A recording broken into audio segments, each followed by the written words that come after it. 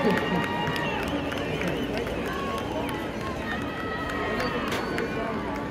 now, entering the field, fabulous Flair of Forney, four times tops in Texas, eight-time national grand champion, Forney High School High Steppers.